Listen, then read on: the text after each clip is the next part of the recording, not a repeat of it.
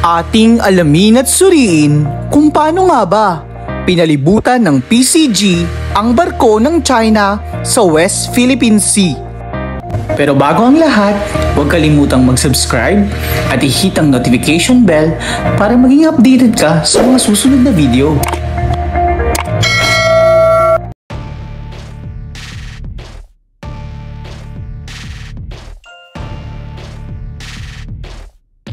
China na marahil ang isa sa mga pinakakinaiinisang bansa sa ngayon dahil sa kung gaano sila kasugapa pagdating sa pag-claim ng teritoryo.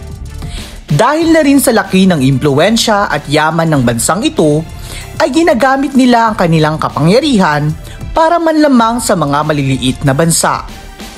Kung isa sa kilalang taktika ng China ang palibutan ang barko sa target ito, alam mo ba na gumamit na rin ng Philippine Coast Guard or PCG at ginawa nila ang taktika na ito sa mga barkong nakaposisyon sa West Philippine Sea? So, ano nga ba ang naganap matapos palibutan ng puwersa ng Pilipinas ang Chinese vessels sa teritoryo natin? Sa video na ito, ating tatalakayin kung ano nga ba ang ginawa ng Pilipinas laban sa panghihimasok ng China sa teritoryo natin.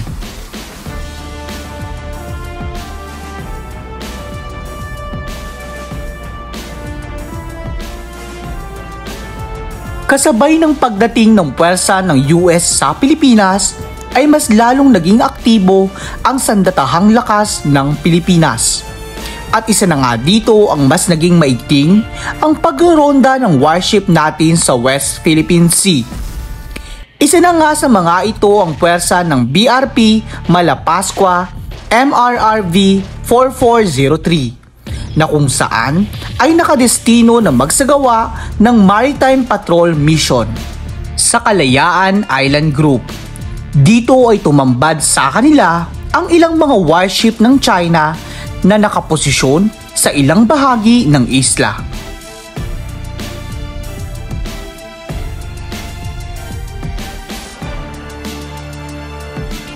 Ilan nga sa bumungad sa kanila ay ang ilang Chinese Coast Guard vessels at ang Jiangdao 2 class missile corvette ng People's Liberation Army Navy.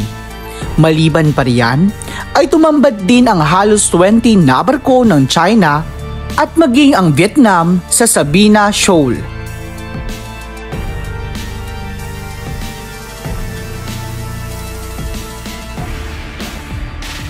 Isa nga sa ginawang aksyon ng ating Coast Guards ay ang radyohan ang mga Chinese at Vietnamese bilang babala sa lugar na iyon na pagmamayari ng Pilipinas.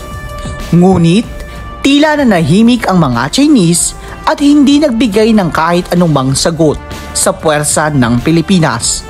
Marahil ay nainip na ang puwersa ng Pilipinas at sunod na ginawa ay ang ilabas ang mga rigid hull inflatable boats at pinalibutan nito ang barko ng China upang balaan ito na umalis sa ating teritoryo.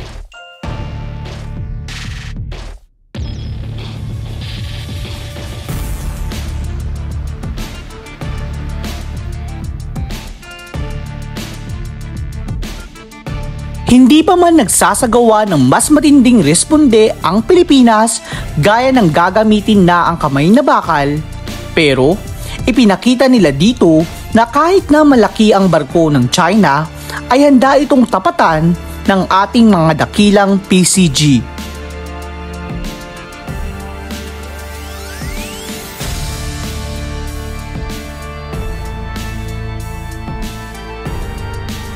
Sa ngayon, ay patuloy na nakikipagtulungan ang Philippine Coast Guard sa iba't ibang sangay ng santahang lakas ng Pilipinas. At maaaring sa susunod na kabanata ay tuluyan ng mapaalis ang mga dayuhang mapagkamkam.